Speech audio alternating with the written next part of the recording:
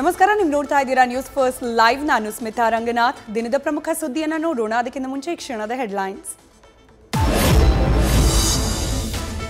ರಾಜ್ಯಾದ್ಯಂತ ಶಾಂತಿಯುತವಾಗಿ ಹೈಸ್ಕೂಲ್ ಪುನರಾರಂಭ. ಶಾಲಾ ಗೇಟ್ ಬಳಿಯೇ ಬುರ್ಕಾ ತೆಗೆದು ಒಳಗೆ ಪ್ರವೇಶಿಸದ ವಿದ್ಯಾರ್ಥಿನಿಯರು. ಮಂಡ್ಯದಲ್ಲಿ ಶಿಕ್ಷಕಿಯ ಹಿಜಾಬ್ ತೆಗೆಸಿ ಒಳಗೆ ಎಂಟ್ರಿ.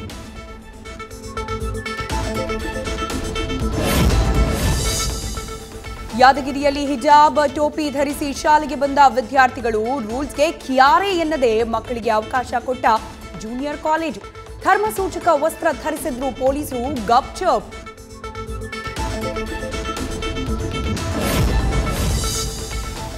ಕೆಲವೇ ಕ್ಷಣಗಳಲ್ಲಿ ವಿಧಾನಮಂಡಲ ಜಂಟಿ ಅಧಿವೇಶನ. ಎರಡು ಸದನ ಉದ್ದೇಶಿಸಿ ರಾಜ್ಯಪಾಲ ಥಾವರ್ಚಂದ್ ಭಾಷಣ. ಅಧಿವೇಶನದಲ್ಲೂ ಹಿಜಾಬ್ ಸಂಘರ್ಷ ಕಾವೇರೋ ಸಾಧ್ಯತೆ.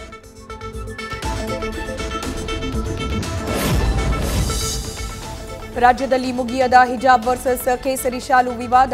ಇವತ್ತು ಸಿಎಂ ಬೊಮ್ಮಾಯಿ ನೇತೃತ್ವದಲ್ಲಿ ಮಹತ್ವದ ಸಭೆ. ಅಧಿವೇಶನ ಮುಗಿದ ಬಳಿಕ ಸಭೆ ನಡೆಸಲಿರುವ ಸಿಎಂ.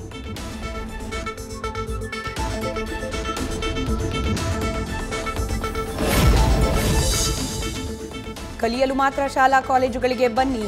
ತಗಾದಿಗಳಿದ್ರೆ ಹೈಕೋರ್ಟ್ ತೀರ್ಪಿಗಾಗಿ ಕಾಯಿರಿ. हिजाब बेबलो व्यार्थी संसद प्रताप सिंह एचरके